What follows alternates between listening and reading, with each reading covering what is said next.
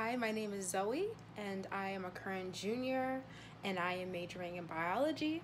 And here's my vlog. Thanks for watching. Happy Friday, everyone. Again, this is Zoe vlogging in on this beautiful Friday morning. It's a beautiful fall day. I am right here on our library terrace on my way to lunch. One thing that's really cool about a Washington College student is that everything is so close on campus. So I just finished printing out a PowerPoint for microbiology and I'm on my way to meet a few friends for lunch. And I still have enough time to eat, relax, and then go to class. That is really one just great thing about being here at WAC.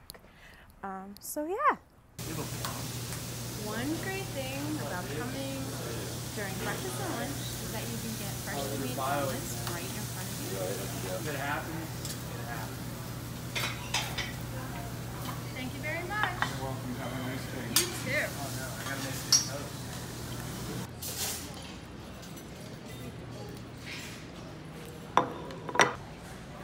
So here for lunch, we have a visiting chef, and we have curry chicken pieces of coconut and a sauce, with some rice, lime. My friend Peyton Cheers. got his honey mustard pork sandwich, Of course. Gotta And- throw the fries on it. studying anatomy because that is what I do.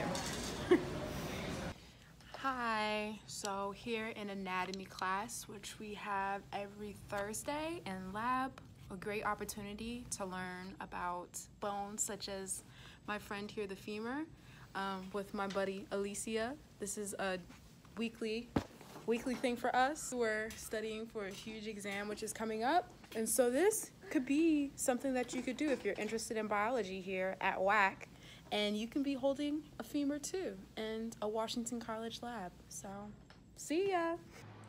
Hi, it's Zoe here. Just want to thank you for watching my vlog and I'll see you next time.